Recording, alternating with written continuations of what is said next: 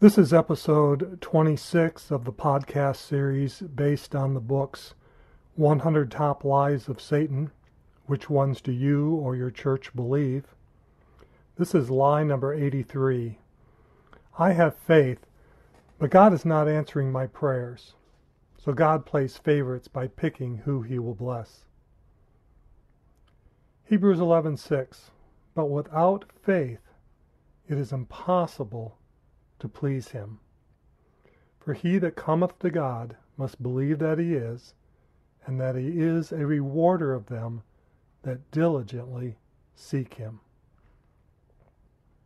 We have all been created in order to please our Creator.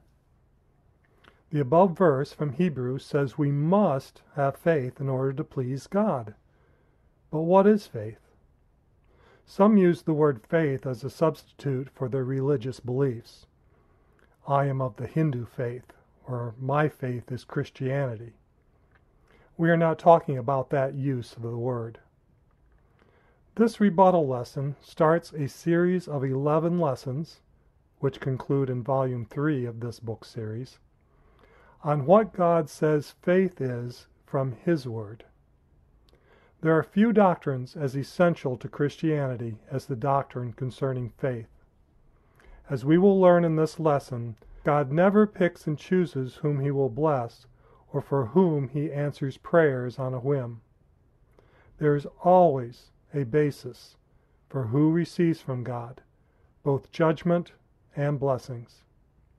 By the end of these 11 lessons, you will be able to diagram for yourself and others exactly what God means by having the kind of faith which pleases God.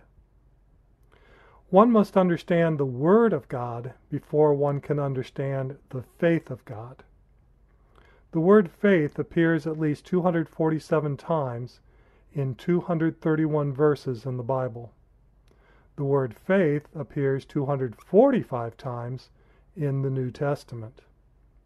In Hebrews chapter 11, all the heroes of great faith were from the Old Testament.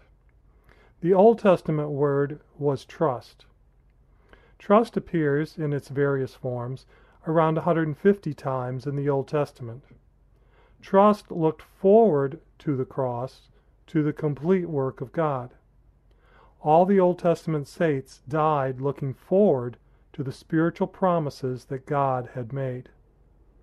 Today, we are on this side of the cross, and we are looking back at facts.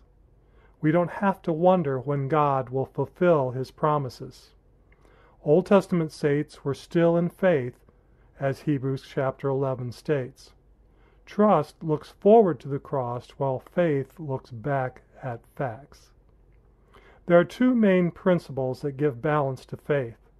These principles work like the two rails of a railroad track.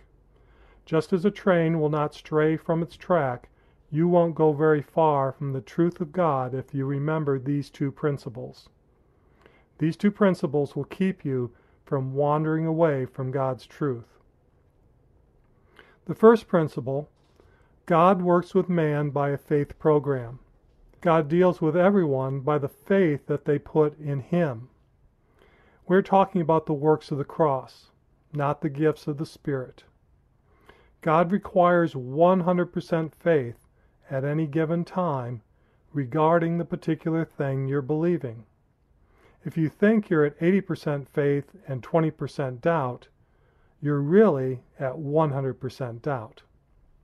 Error mixed with truth is error. God hates mixture. Error makes truth ineffective. All of man's spiritual, physical, and material needs are covered through the cross. All of God's promises for mankind are based on each man's faith in what God says. We are all responsible for the knowledge of God that we have and what we do with it. God is never the problem with us receiving from God. We are the problem. Main principle number two God is no respecter of persons. It doesn't matter to God who is doing the asking. As long as the person is working with the faith program, God must come through with his end of the deal. God is not willing that any should perish. God's program works the same way for everyone.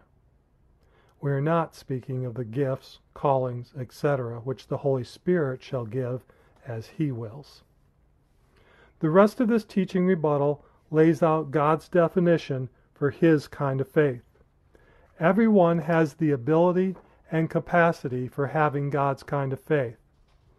The two important aspects of God's kind of faith are explored confession and conviction of truth that results in action.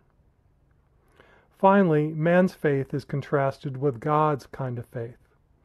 The pattern in the Word of God for God faith is given. God speaks creation into being. Men of God in the Old Testament spoke things into being. Jesus calls those things that are not as though they are. And New Testament believers act out God faith by speaking creative power. Man's faith is based on seeing things in the natural before believing. Our next episode will discuss lie number 82. It's prudent to base one's life on the best of what each of the world's religions and philosophies has to offer. This is from Volume 2 of the series 100 Top Lies of Satan. Which ones do you or your church believe? Please come back and give it a listen. Remember, the paperback book and Kindle e reader versions of Volumes 1 and 2, 100 Top Lies of Satan, Which Ones Do You or Your Church Believe, can be purchased on Amazon.com. Do a search for 100 Top Lies of Satan, and you can order from there. Also visit our Facebook page at facebook.com slash topliesofsatan. Our podcasts are found at podcast.com slash 100 top lies of Satan with hyphens in between 363AF03C6. Our blogs can be found at topliesofsatan.wixsite, W-I-X-S-I-T-E dot com slash website. Finally, our YouTube channel can be found by searching